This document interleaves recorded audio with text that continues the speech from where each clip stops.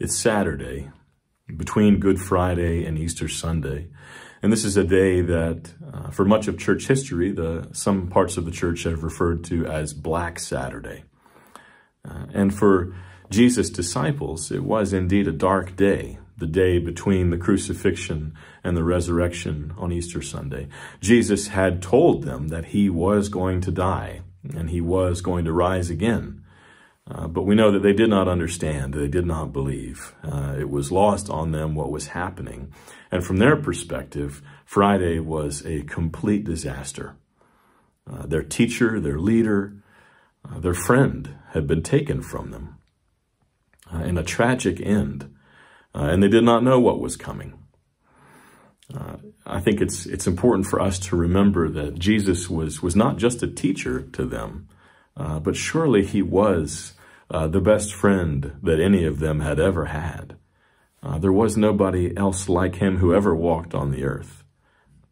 And for them to know him and to walk with him and to have meals with him and, and to, to spend time with him uh, surely was, was to form a relationship with him unlike any other that they'd known. And to see him taken from them so violently on Friday uh, must have been tragic on a number of levels.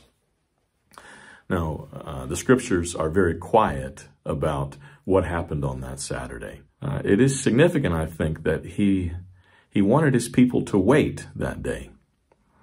Uh, surely Jesus could have, have died and instantly risen again, but in God's providence, he would be in, it would be on the third day that he rose.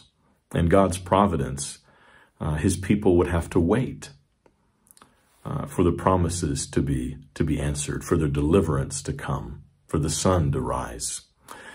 And I think that's significant for us to remember today that it is often God's purposes for us to wait, to wait in faith, to wait in hope, uh, to wait prayerfully for Him to answer, for Him to deliver, for Him to come.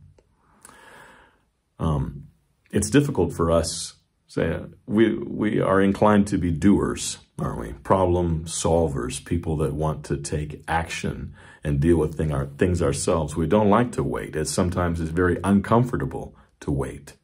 And yet, in God's providence, he often has his people wait. Wait for prayers to be answered. Wait for trials to come to an end. Wait for the deliverance that he's promised. Wait for the provision that we need. Uh, it's it's his pleasure and his purpose for us to be sanctified in waiting. And uh, as, as much as we might be doers and uh, people who like to take action and pro solve problems, as Christians, uh, we must be people who wait. We must be people who wait in, in patience and wait in hope. Uh, wait to see our God deliver us from the trial in his own timing.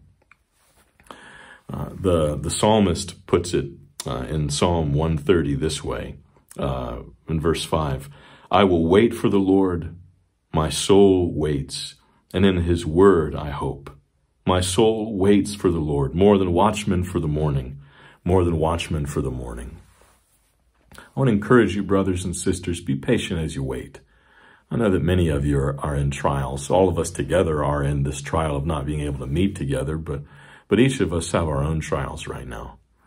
And God will deliver us from those trials in his own timing, either in this life or at the resurrection. We do not know.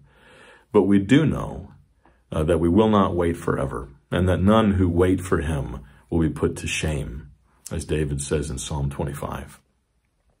We do know that he who laid in the grave that Saturday, he rose again on Sunday and his disciples, they did not know what they were waiting for, uh, but they did not have to wait long.